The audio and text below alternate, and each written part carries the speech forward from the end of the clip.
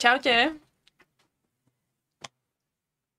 Tak ja vás tu znova vítam pri našom štvrtkovom pravidelnom streame Nevypočutý, alebo Som nevypočutý, v ktorom sa vlastne venujeme tým vašim otázkam alebo odkazom, ktoré nám posielate do toho nášho vyfrustrovača, ktorý je vlastne aj súčasťou toho projektu Nevypočutý a kde sa vlastne zaoberáme témami, ktoré sú na takej, by som povedala, spoločenskej úrovni, kde sú nejaké veci, ktoré vás možno trápia z toho sveta tých dospelých ľudí. Keď niečo nefunguje, keď vás niečo frustruje a snažíme sa s vami nájsť tú, tú odpoveď na to, že kde to vypočutie vlastne nájsť.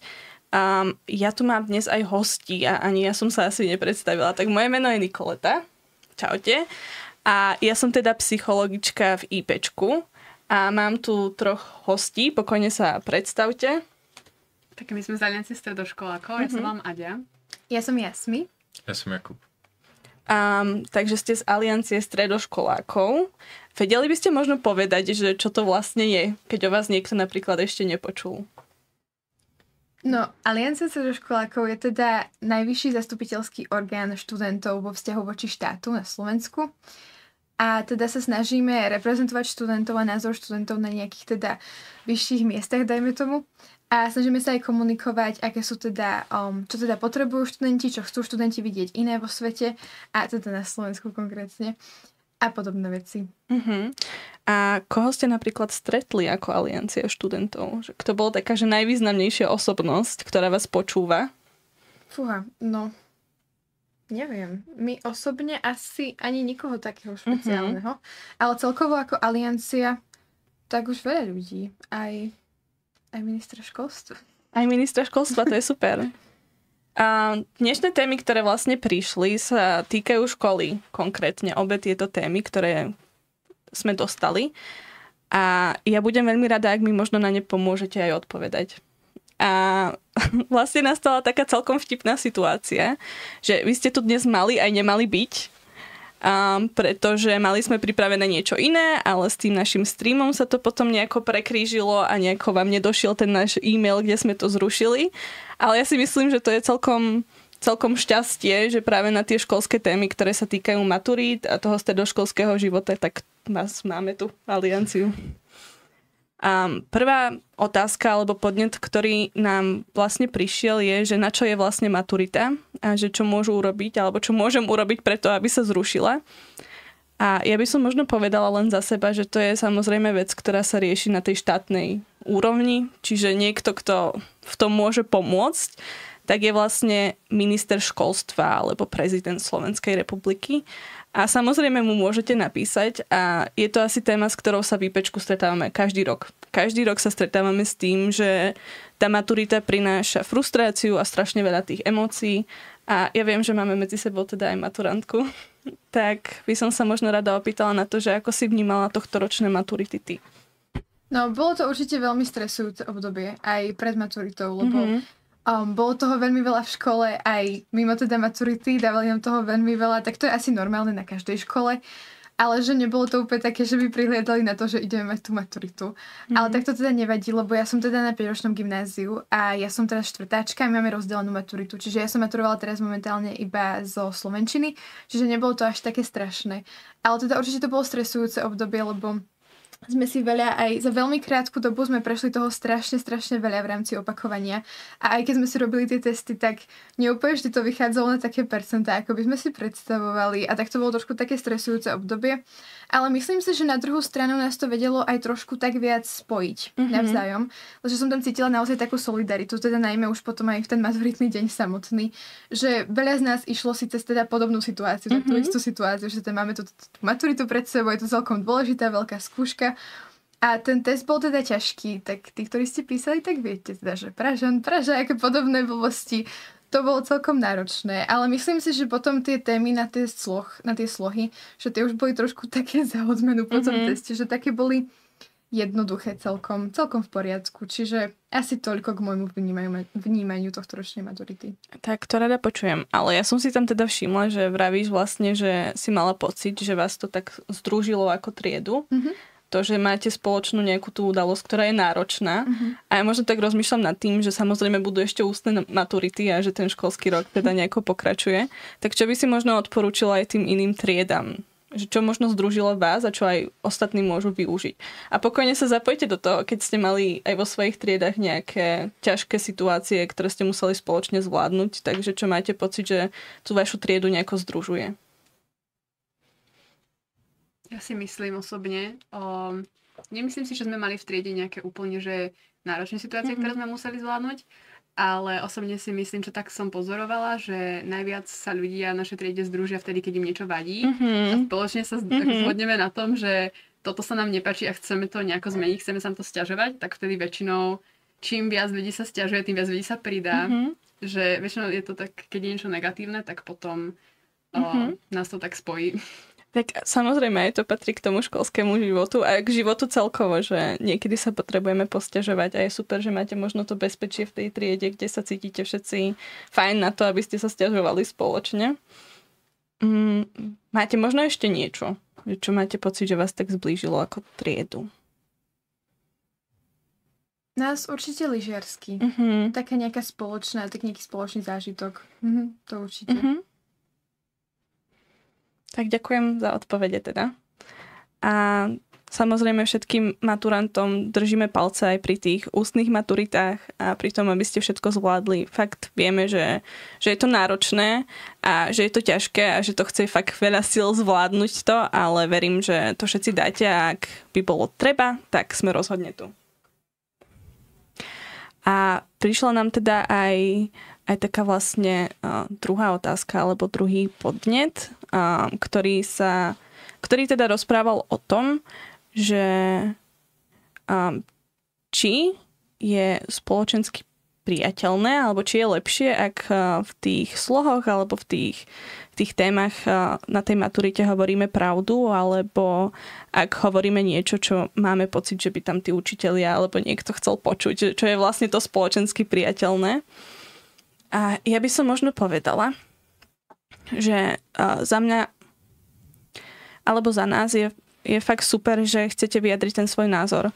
A samozrejme aj takýto sloh je priestor na to, nikto nás nemôže za náš názor alebo za náš pohľad na veci nejakým spôsobom stíhať. A nie je to fér, ak nám niekto za to zniží známku, pokiaľ je to dobre napísané samozrejme a pokiaľ to splňa všetky tie náležitosti, ktoré by malo. Ale čo si o tom možno myslíte vy? Nie možno aj pri tej maturitnej téme, ale pri slohovkách normálne v škole, že keď máte možno nejaké že kontroverzné témy, tak že čo by mali tí študenti robiť? No ja teda si úprimne myslím, no ja teda poviem, ako to bolo. My sme teda, ja som si teda vybrala ako slohovú tému tento rok úvahu, mm-hmm. ako teda aj väčšina študentov to tak vyzerá. A ja teda som sa tam veľmi rozpísala o takých rôznych témach a snažila som sa tam dať aj čosi z takých tém, čo mňa teda zaujímajú a čo ja teda riešim, teda samozrejme tak, aby to stále bolo v tej téme. A ja som sa celkom dostala aj ku takej trošku kritike slovenského školstva, trošku aj ku kritike um, nejakých kresťanských hodnôt, ktoré podľa mňa osobne nie sú správne. Ja som teda na cirkevnej škole. Čiže ja určite som za to, že by sme mali vyjadrovať svoj názor, lebo predsa len žijeme v demokratickej spoločnosti. Stále sa ešte hlásime ku demokracii. A teda si myslím, že každý má právo na svoj názor a každý by mal vyjadrovať svoj názor. A teda určite ja si myslím, že je lepšie vyjadriť svoj názor, lebo ono v, tých, v týchto slohoch by malo byť dôležité vlastne ako teda tu napíšete tá forma a že či teda dodržíte všetko, čo tam má byť dodržané. A teda si myslím, že keď vyjadrite svoj názor, teda najmä v tej úvahe, kde sa to teda od vás aj žiada a vyjadríte ho tak, že to dáva zmysel v tej téme, tak si myslím, že by za to ste nemali mať strhnuté žiadne body, aj keď je to nejaký veľmi kontroverzný názor alebo nejaký názor, čo sa nezhoduje teda s názorom hodnotiteľa. Čiže ja som určite za to, aby sa hovorili mm-hmm. vlastné názory, ale teda vieme, že na Slovensku to vie byť aj trošku také s týmito názormi neúplne ideálne, ale teda stále si myslím, že to má nejakú hodnotu hovoriť svoj názor aj za cenu možno zníženej, znížených bodov, alebo čo ja viem, čo, čo by sa teda nemalo diať, samozrejme. Určite nie. Nie je to vôbec v poriadku a verím, že aj na to existuje ten spôsob, ak by sa to náhodou stalo, ako to potom riešiť. Čo možno vy, ktorých vás ešte maturita čaká, že keď možno dostanete nejakú kontroverznú tému, čo by ste možno urobili? Asi náročná otázka. Je to veľmi dvojsečná zbraň. Mm-hmm. Ale asi ja mám takú dosť bojovnú povahu, takže ja by som si stál za tým môjim názorom. Mm-hmm. Častokrát sa dostávam aj do, a, do situácií, kedy sa hádam o tú mm-hmm. myšlienku s učiteľom. Ale samozrejme s rešpektom. To je super. A musím ťa za to akože hrozne oceniť, lebo mať, uh, mať ten priestor na to sa pohádať aj s tým učiteľom, alebo si to nejako vydiskutovať, to je vlastne, to je vlastne úloha tej školy. Mať ten priestor, kde sa vzdelávame a kde si formujeme tie svoje názory a svoje myšlienky.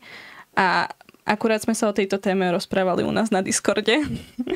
o tom, že aké dôležité je to vlastne vyjadriť ten svoj názor, aj keď ten učiteľ môže reagovať nejakým spôsobom zle. A že vlastne to neprospieva len nám a v tom, že sa zastaneme sami seba a v tom, že sme sebavedomí, ale že ono to vlastne prospieva aj tým našim spolužiakom. Že ono to aj pre nich vytvára takéto bezpečie, aby ten svoj názor mohli vyjadriť. Takže verím, že aj tvoji spolužiaci sú veľmi radi za to, že sa niekedy s tým učiteľom pohádaš alebo s učiteľkou a že možno budú mať nejakú odvahu na to urobiť aj oni, keď budú mať ten svoj vlastný názor. Ja si myslím, že sa veľa naučíme aj diskusiou, uh-huh. hlavne možno so staršími ľuďmi, ktorí sú z inej generácie, čo väčšinou teda tí učiteľe uh-huh. na mhm. Slovensku sú. Samozrejme sú aj mladší, ale veľmi veľa škôl má hlavne starších učiteľov. A tým, že s nimi diskutujeme, sa možno aj my učíme, ako prejaviť svoj názor uh-huh. slušne, nejako rešpektujúco, ale aj oni možno, možno to pomôže sa nejako otvoriť mm-hmm. voči aj takým kontroverznejším veciam a určite to pomáha aj tým starším mm-hmm. ľuďom. Tak celkovo tá maturita je taká téma, ktorou aj my momentálne žijeme v našich kluboch, v káčkach, na Discorde, a na našich linkách pomoci, že je to asi niečo, čo, čo samozrejme teraz možno trápi veľa mladých ľudí, a ja by som tak roz... ja, možno tak premyšľam nad tým, že aký je možno ten váš názor na tú maturitu. Je to niečo potrebné, alebo by sa to malo zrušiť, alebo ako to možno vnímate vy osobne, ako možno vy ako aliancia. Je to niečo, nad čím premýšľate?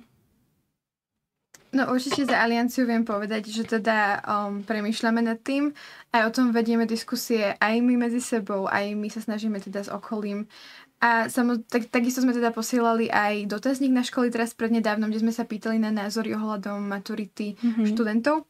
Čiže snažíme sa aj takýmto spôsobom nejako zisťovať, teda, že aký majú na to názor stredoškoláci na Slovensku. A my si teda myslíme, že maturita určite potrebuje reformu, mm-hmm. lebo a teda určite maturity sa teda nezrušia v najbližšej dobe, lebo je to niečo, čo teda ministerstvo vyžaduje.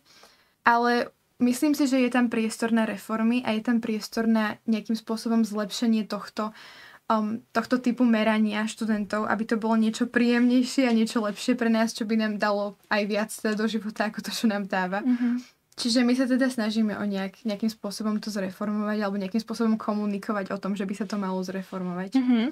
S kým možno komunikujete okrem tých študentov? Že je niekto, komu to možno posúvate tie vaše poznatky, ktoré získavate? Mm-hmm. Chodí sa na rôzne stretnutia, aj teda s ministerstvom školstva mm-hmm. a podobne. A neviem, či sa teda táto téma od nás konkrétne už riešila s ministerstvom, Tý, tým si nie som istá, lebo to, mm-hmm. ja sa toho, týchto tém teda ešte netýkam. Ale um, áno, snažíme sa to teda aj posúvať mm-hmm. niekam ľuďom, ktorí s tým reálne budú mať vedieť, čo spraviť. Super. Takže ako mám Tak držím palce, nech Čekám. možno nás už to síce minulo, ale že keď možno niektorí tí ďalší, možno aj vy, keď budete maturovať, tak už tá maturita bude vyzerať inak a budete sa v tom všetci cítiť teda o niečo lepšie. A tá téma maturít sa samozrejme spája aj s tým duševným zdravím. Je to samozrejme stresujúca udalosť, ktorá fakt môže vyvolávať mnohé pocity, môže nám z toho byť fakt, že ťažko. A neviem, že či to vnímate aj vy, že možno v tomto období vidíte u svojich starších spolužiakov alebo u svojich spolužiakov um, to, že sa ozývajú tie témy toho duševného zdravia.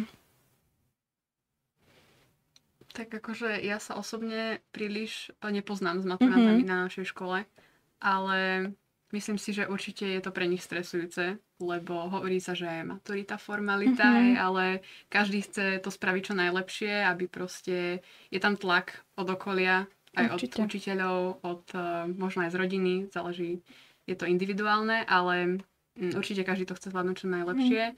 a asi najväčšie možno pri niektorých ľuďoch aj taký ten osobný tlak, mm-hmm. že chcem to spraviť, aby som mal možno lepšie šance na nejaké mm-hmm. vysoké školy a tak ďalej. No, uh, ja mám veľa kamarátov, maturantov, ale uh, ja som sa ocitol v takom kruhu, kde si s tým moc nejak nelámu hlavy. Mm-hmm. A sú veľmi ohľadom toho taký pohodový. Môj brat je v tomto veľmi, veľmi veľký pohodiak. A on sa na to myslím si, že pripravoval tak deň predtým. Mm-hmm. A no, ja osobne to berem tak, že už to dali, teda dúfam aj horší ľudia ako ja, tak dúfam, mm-hmm. že to Mhm. zvládnem. No, čo sa týka u nás toho, tak ja mám pocit, že um, najmä teda na gymnáziách, ale tým nechcem nikoho teda dávať preč z tejto rovnice, verím, že sa to deje viacerým ľuďom, je veľmi silná aj taká tá academic validation, neviem úplne, Mhm. mm-hmm. ako sa to volá po slovensky, ale taký ten pocit toho, že sám od seba očakávate, že to zvládnete a že to dáte dobre a podobne. A myslím si, že toto vie byť aj veľmi stresujúce v tejto téme. A um, určite by sa s tým mohol pracovať, lebo nie je to zdravé. Ale teda ja, čo som vnímala v mojej triede aj v okolí, tak ono to bolo veľmi stresujúce, najmä teda keď sme boli sami doma s tým testom, ktorý sme si snažili sa teda napísať čo najlepšie. Mm-hmm. Keď sme boli spolu, tak to bolo také, že robíme si z toho srandu, isto nesmaturujeme a takto. Tak to bolo lepšie, ale teda keď sme boli sami a ja sama som to si cítila, že keď som bola sama doma, robila som si ten test, tak mi nebolo úplne všetko jedno a že boli to celkom aj také náročné momenty kedy som si vlastne uvedomovala, že ja toho neviem zase toľko, koľko si myslím, že viem Mhm. a podobne. Čiže určite to bolo v niečom aj náročné obdobie a to si teda každý zažije, keď bude maturovať.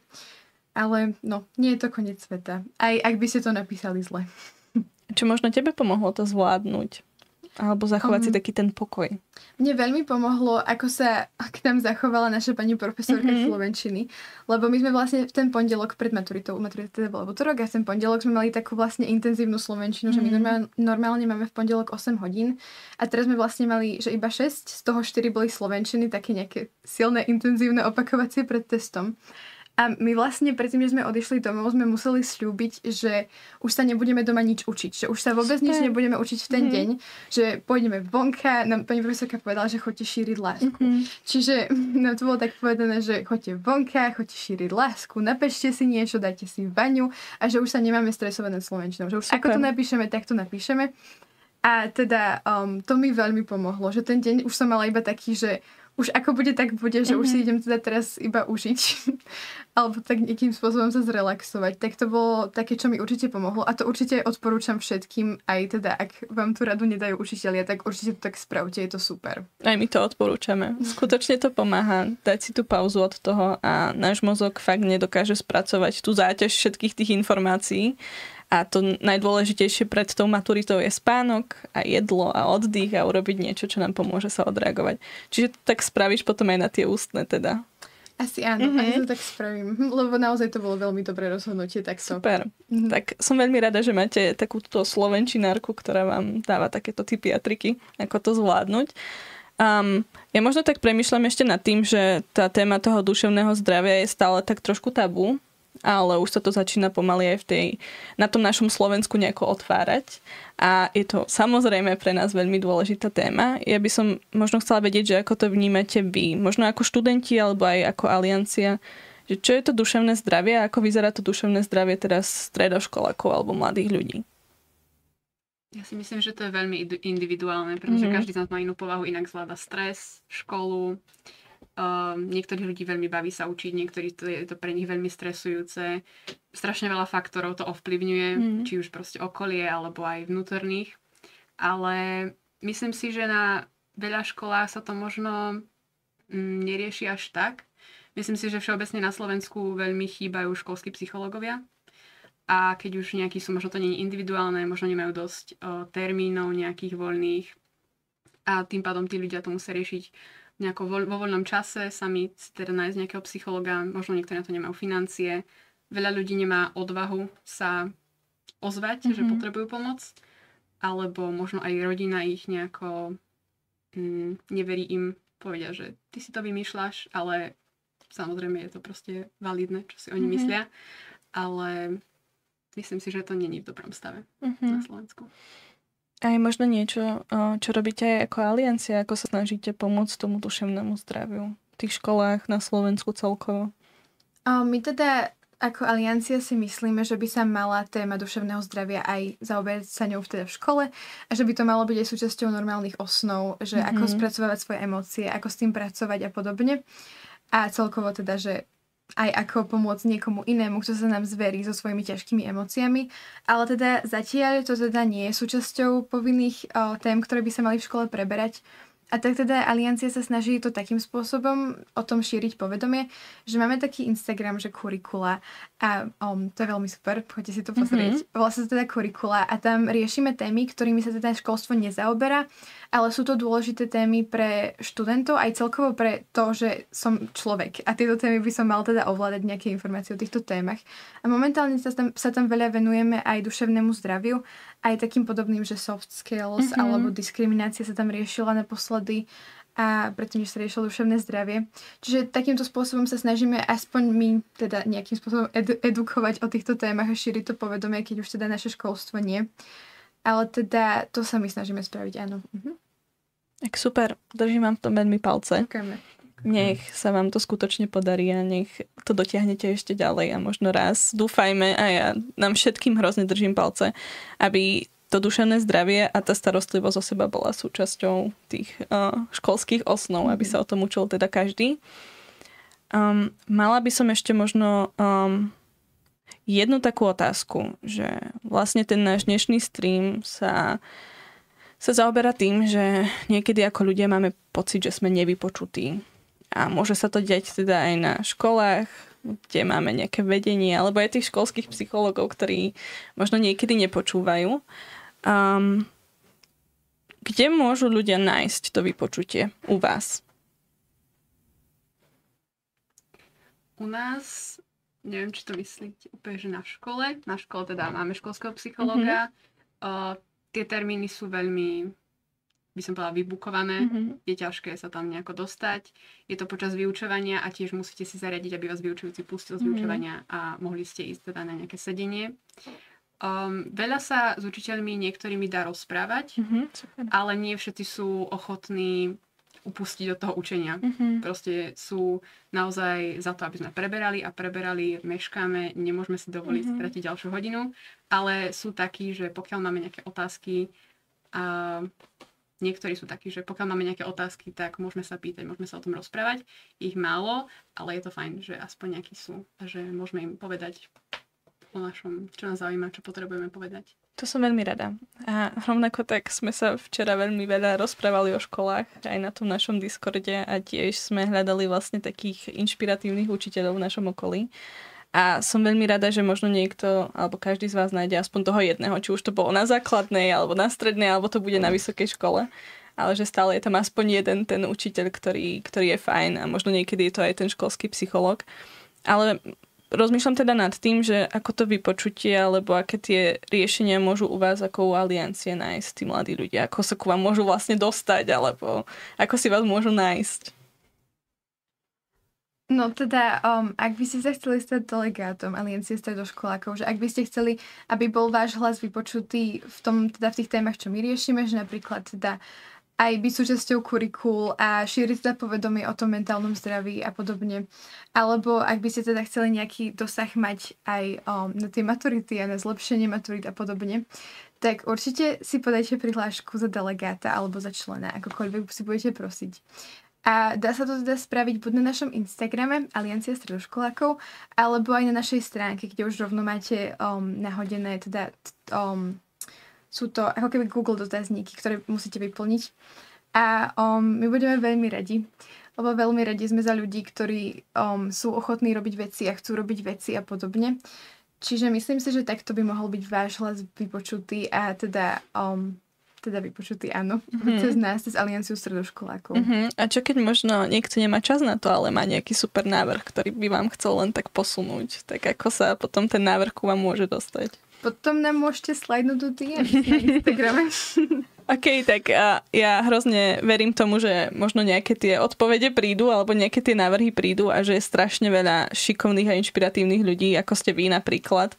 A že čím väčšia možno bude tá vaša aliancia, tak tým lepšie to bude aj na tých školách na tom Slovensku. A fakt ďakujem, že ste tu dnes so mnou boli. Aj takto náhodou teda. A možno tak premýšľam nad tým, že čo ešte vy možno chcete od nás ako od IPčka. Prečo vlastne ste mali dnes byť tu, aj keď to nevyšlo? Tak ja som sem prišla, pretože už som o IPčku počula ešte predtým, ako som sa stala teda čo, delegátkou mm-hmm. Aliance stredoškolákov. Uh, v rodine dosť riešime tému mentálneho mm-hmm. zdravia, čo, za čo som rada, že teda mám tam pár ľudí, čo s tým buď pracujú, alebo ich to teda zaujíma a poradili mi, že ak sa niekedy necítim úplne v pohode a nechcem to hovoriť niekomu, koho poznám, tak existuje IPčko, tak som sa o tom dozvedela a je to veľmi super vec, že ste.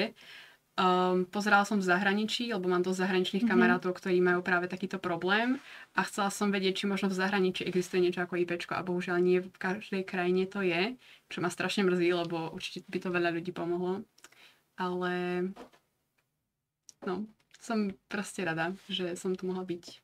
Aj my sme veľmi radi. Obdi- veľmi obdivujem vašu robotu. Takže. A dúfam, že tu nie ste teda posledný krát a že niekedy budeme mať aj viac času na to rozprávať sa o vás a o tom, čo vlastne robíte a verím tomu, že možno niečo spoločne aj vymyslíme, čo by mohlo pomôcť k tomu duševnému zdraviu na tých stredných školách. Aj pre nás je to samozrejme dôležitá téma a je dôležité byť aj vypočutý a mať to vypočutie a práve preto sme tu aj dnes na tých štvrtkových streamoch, aby sme to spoločne hľadali a ďakujem, že ste k tomu dnes prispeli. Fakt sa z toho teším. Ďakujeme. A teda vidíme sa potom asi na budúce vo štvrtok o 19. tak ako zvyčajne.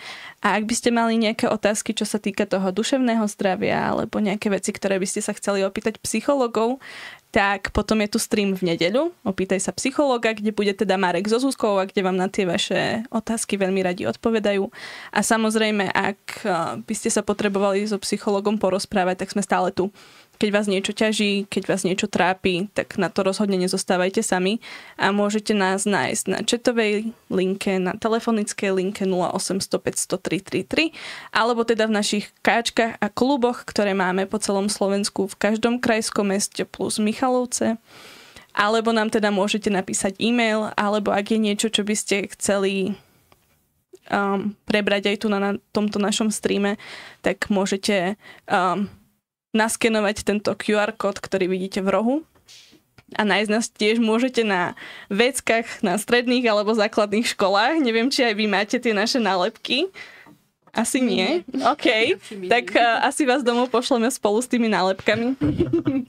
a teda, ak by ste ich chceli mať, tak môžete popýtať vedenie učiteľov, školských psychológov o to, aby sme vám ich zaobstarali a môžete si ich na tie svoje vecka nalepiť, tak aby každý jeden študent na tej vašej škole bol vypočutý, aby vedel, kde hľadať vlastne tú pomoc. Tak sa teda na dnes, na dnes majte a ešte diva sa vám ukáže asi. a vidíme sa teda budúci štvrtok. Čaute. Čaute.